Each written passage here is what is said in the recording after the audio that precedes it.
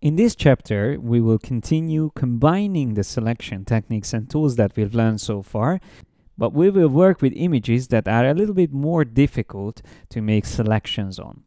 Like in this case, we have a portrait image with a fairly easy, simple, neutral background, but because the background color is quite similar to the hair color, we will have to be a little bit more tricky. So first of all, we can decide what tool we want to use for this selection. And I think the best would be to use the quick selection tool. So we will go around this here and then hold down Alt and remove these details uh, from the hair. I mean from our selection, we don't want the hair to be included. Something like that. And uh, don't worry about the minor details we'll deal with them a little bit later. So that looks quite good. Maybe include that little part as well of the skin. Something like that. Now we can invert the selection. Go to select inverse and then save this as a mask. So I click on the mask icon and now we created the mask. We can create a new layer behind this and fill it in with a color. I'm just going to pick a different color something like that. Now if we zoom closer, of course, we can see that the selection around the hair is awful. So we have to definitely improve that. So if I double click on the mask and then we go into mask edge in the properties panel, we will be able to improve that by adding smart radius and increase the radius we probably have to increase it really high in this case because we will have to find all those little flyaway hair uh, in this case. You can see it looks already much better if I turn it on and off. So it found the edges really well there, but it will start to mess up a bit the hard edge details. So let's see before and after. The hard edge details actually looked better uh, so on some parts before uh, than after. So this is after and this was before. So again, you have to decide uh, what you want to do in this case.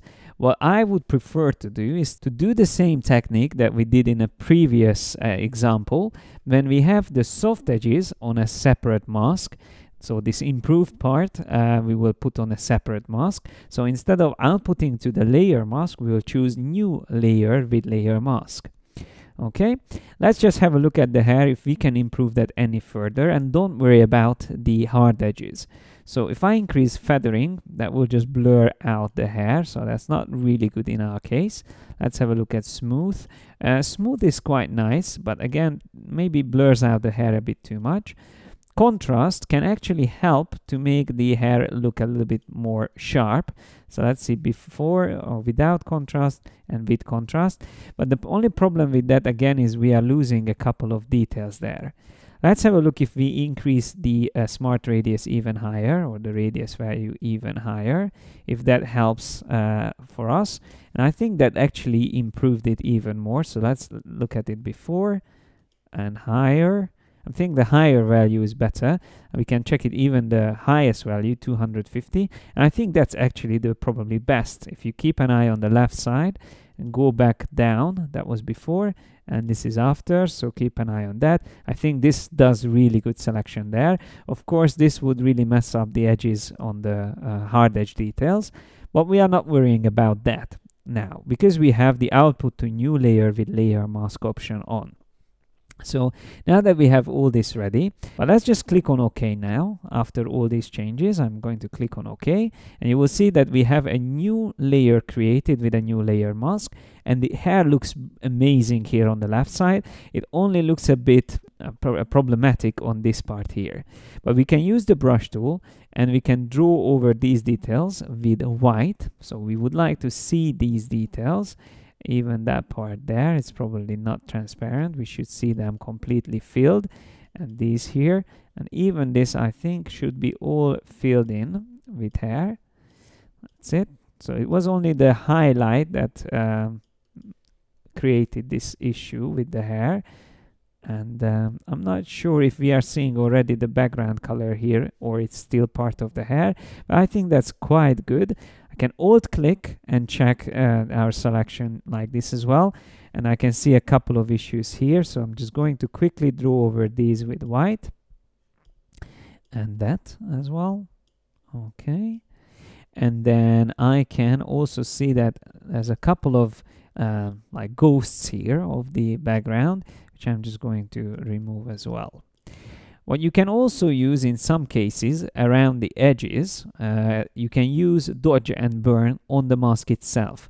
So you can use burn set to midtones and you can draw around the edges and that can get rid of that noise uh, which is remaining there.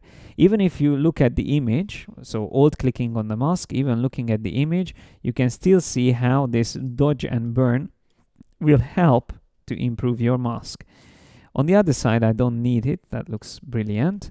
Uh, and here on the top as well, it looks good. So this was the only problematic part, which now we improved and it got much better.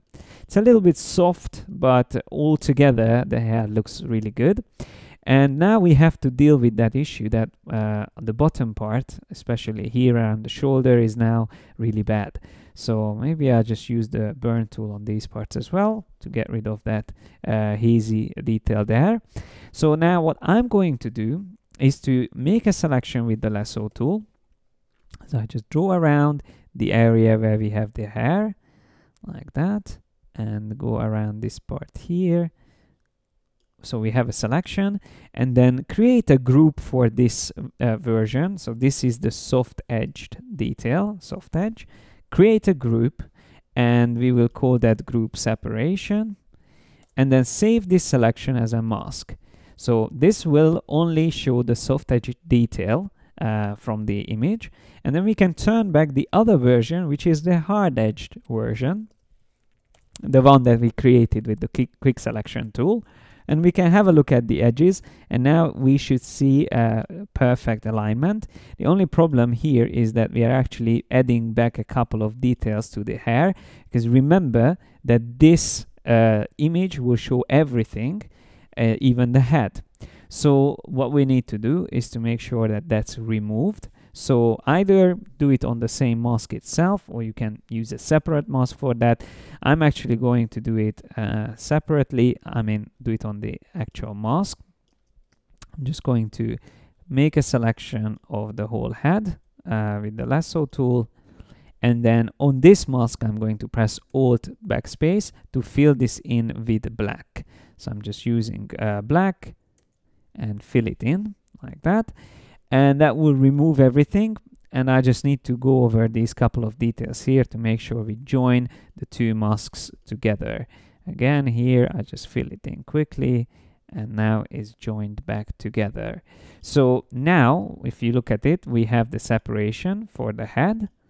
It's a separate mask and we have the hard edges again as a separate layer. So hard edges and the head both on separate layers.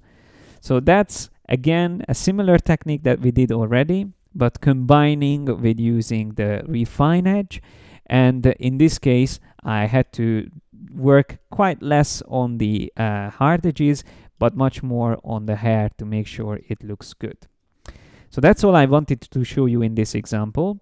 And uh, in the next video, we'll look at a very similar workflow. Again, the most common workflow with selecting people, uh, separating the hard and soft edges. But now we are going to look at a full length photo.